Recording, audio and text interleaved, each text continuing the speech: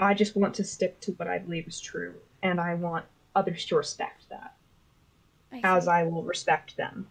Right. If you believe full heartedly that this is a good idea, be allied with them, do their will, allow them to take from us what we can and should deserve, then that's fine. That's that's you. That's your thing. I respect that.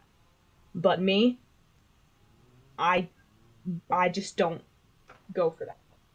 That's just not me.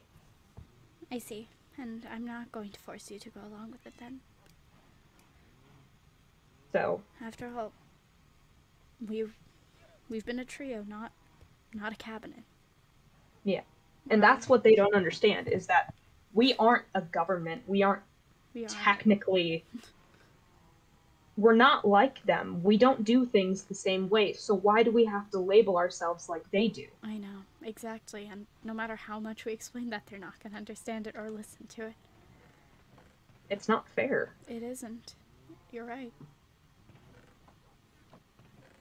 But we're no government. We're our own individual people. I may lead the nation, but we're all equal. Yeah, it's like you hold the title, But but all of us hold the power. exactly. And until we can get them to understand it, there's always going to be a bit of a rift between us and them.